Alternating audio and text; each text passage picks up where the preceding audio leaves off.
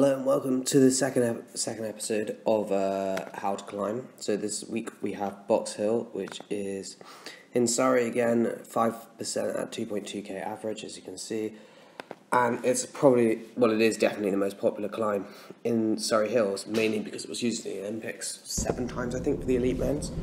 Um, and yeah, it's a really nice climb, five percent, pretty much the whole way, like no real ramps at all. I mean, there's some ridiculous thing that says it ramps up 10%, but that's absolute rubbish. It's so smooth, perfect tarmac. It's like European tarmac.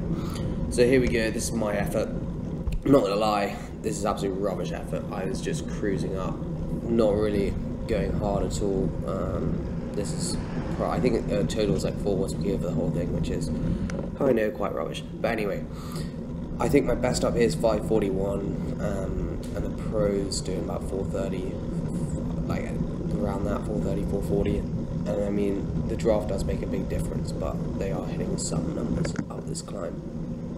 Um, but yeah so it's a nice climb pretty fast. The draft definitely helps a lot. I've never really actually done this drafted um, like properly.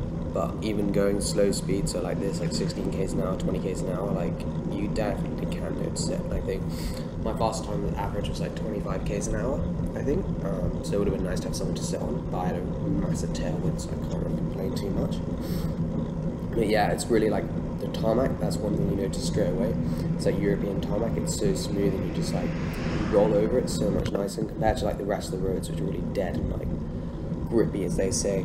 It, it's a massive change. I really enjoy this climb. It's great for intervals. I love it. I do a lot of intervals, five minute, ten minute intervals, because you can start a bit lower down um, and finish a bit longer. So this is just the the bit I'm showing you now is just the Box Hill 2.2k segment, I think it's called, and that's the main segment that most people really compare on because that's the steep part. Because basically after after this segment goes on for a bit of a flat part, which is a bit boring, not really not really the full climb.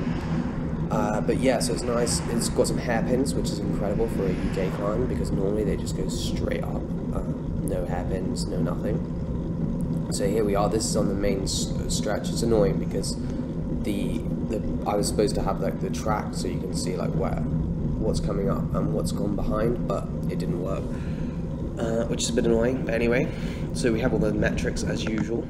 Uh, power cadence, speed, heart rate, that stuff. My max heart rate's like two, 201, 202, so 160 is like chilled.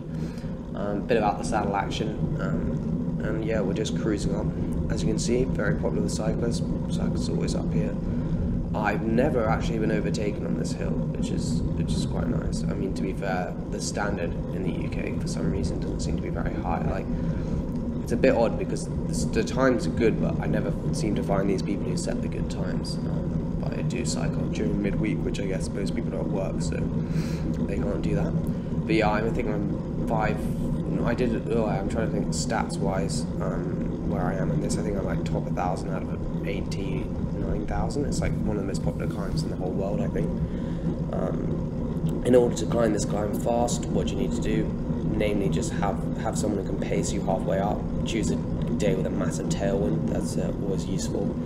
Uh, not as useful for this one because there's a. It's like it's not in one direction. But if you have a, a, a headwind coming on up this part, you're probably gonna have a good time because most of it's going in the opposite direction. So there's the long part which we just did, which will be a tailwind, and the bit we're just gonna go around, which is also a tailwind. Um, in order just for anyone to actually get up, I think no matter what your ability is, I'm pretty sure you can get up this climb as long as you have like just normal gears. I mean, it's like it's the only thing that could be potentially seen as hard is because it's a bit long. But like, I think I did this in eight minutes today at four watts per kilo, and I mean, like, I think most people can probably do that, and even like, I mean, you can still you can probably get up it, like, just not very comfortably. I think anyone, anyone can get up it, and plus you get like rest and it's just it's just quite chill really the whole climb. Uh, the thing is, it feels nice like when you're when you're really like going fast up it, like you feel like you're absolutely zooming up it, because it feels similar to like a six or it seems like it's a steeper climb when you're actually doing it for some reason. I think it's just like I don't really know why it is, but it just does. So when you when you're sort of going 25 k's now, you think we're like absolutely flying up the line, uh, which is always a nice feeling. The tarmac's super smooth. It's a bit annoying with the speed bumps, but it's not too bad. It's all you really have in the UK. Um, well, not the UK, actually London, there aren't really very many climbs that are long. I think there's one in Surrey which is about 10 minutes, like proper climb.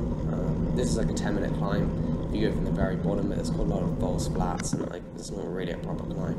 This is the main climb here.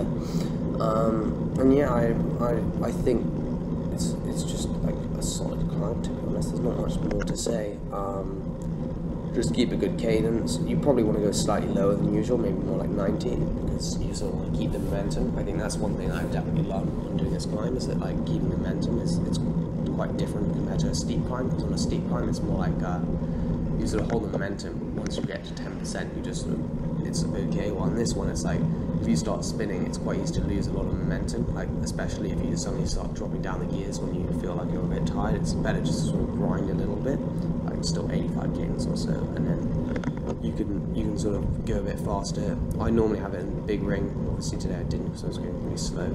Um, but I think you just have to make that effort. Like if you're going full gas, yeah, keep it in the big ring. But otherwise, it's quite easy to start grinding on this climb if you're like, oh, I've got to keep it in the big ring, and that's when it's just not very comfortable. Um, I think it's actually probably one of the best climbs to Everest, maybe because it's very easy. Like you wouldn't need to make massive changes on the gearing, you could do it. I guess the only thing is it'll be a long distance because it's not very steep. But it'd be a good climb to Everest, I think. Maybe, I think some people have done it already, but I can't remember what time it was. But yeah, we're getting close to the end. Uh, this is normally, if you're going full gas, this is where it really starts to hurt. Um, but as it gets a bit more sheltered, generally the wind's not as bad, so you sort of pick up a bit of speed. Um, and I think it's a good climb. I think everyone should do a box hill. Not the most challenging, and it's also quite useful because it has water at the top. So if you're doing a loop in Surrey and you don't live near there, which I don't, um, it's quite nice to fill up some water just before you go home. Make sure you're well hydrated, as always. I often like, reward myself if I do hard intervals and I do what I set out to do with a little At which is always nice for the old morale. But yeah, here we go. Last sort of hairpin, I think, is just coming up up here. Can you cut the corner on most of these? Yeah, because you can see. So like you can see pretty much around the corner, and you can cut it pretty nicely, which is good. It's a fun, fun little climb to descend as well. I mean, there's only three hairpins, so it's not really an alpine descent, but still good to practice, especially on the, the one which is um, the second hairpin, which is quite steep and quite narrow. So we're getting to the end. This is where you sort of push on um, it says it's 8%, 9%, I don't, it's just not really true to be honest. Um, and it starts to flatten off just as you get around this corner, and that's when you can really get it up to like 35, 40 k's an hour as you're sprinting it in. Nice climb, uh, and this is pretty much the end over the speed bump, around the corner. It's annoying there aren't really any group rides up here, which really smash it. Um, I've yet to find any really, but maybe maybe I will in the summer. It's a bit miserable now, not many people are on their bikes. But alas, here we go, sprinting it in, 200 watts, um, and this is the end just there. Um, thanks for watching. Hope you enjoyed my little commentary and my ramblings. Uh, hope to see you next time. And as always, give us a subscribe.